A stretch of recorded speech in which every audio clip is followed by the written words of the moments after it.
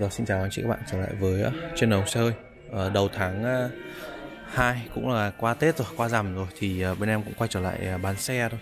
Ở thời điểm này thì giá cũng đang rất khá là tốt. Đa phần các mặt bằng xe Mazda thì đều có chương trình khuyến mại giảm giá đầu năm. Thì hôm nay em quay nhanh một số đầu xe bán chạy và đang được trưng bày tại showroom Honda Bắc Ninh.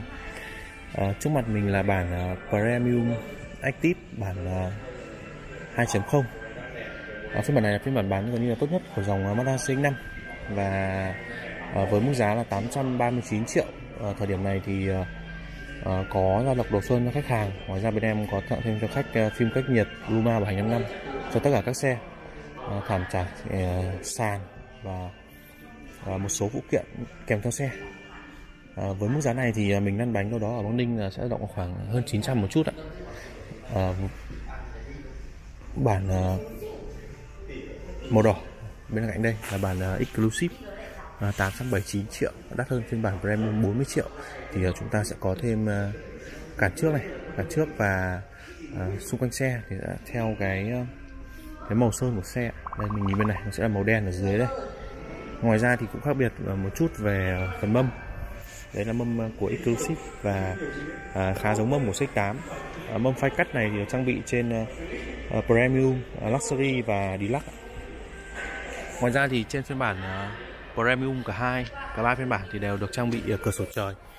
Uh, cá biệt thì dòng Exclusive có thêm uh, Zanapa và sửa ghế hàng ghế thứ hai. Đấy Zanapa. Còn uh, tính năng an toàn cơ bản là đầy đủ giống nhau ở cả 7 phiên bản. Đây ở dưới này em có bản Luxury nhá. Mình nhìn nhanh thì không thấy cửa sổ trời là uh, bên ngay Luxury rồi. Đấy, Luxury thì em đang bán là 799 triệu à, thời điểm này ra biển nó sẽ đâu đó vào khoảng uh, 880 885 triệu tùy vào uh, từng thời điểm. Đấy, qua tặng khuyến mãi thứ như nào thì anh chị uh, book máy alo giúp em. Uh, Luxury cũng được trang bị uh, đầy đủ uh, adaptive cruise control uh, lệch là giữ lệch làn đường hay là hỗ trợ uh, uh, uh, adaptive cruise control uh, giữ lệch làn đường. Nó à, vẫn là đầy đủ về an toàn thôi. Đấy, nó sẽ thua cái bản premium một chút ở cái phần uh, ghế. Ghế lái của bản pre thì sẽ có nhớ ghế hai vị trí. Và trên bản luxury chỉ có ghế điện và ghế phụ cũng là ghế cơ. Ở đây là bản CX8 bản uh, luxury.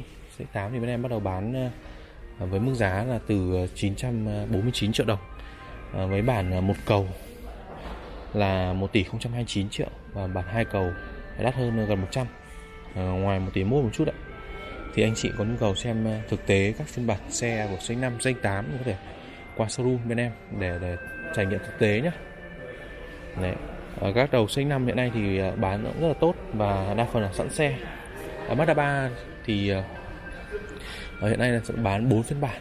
Mazda 3 Deluxe 579 Mazda 3 Luxury như mình đang xem là 619 uh, Mazda 3 Signature.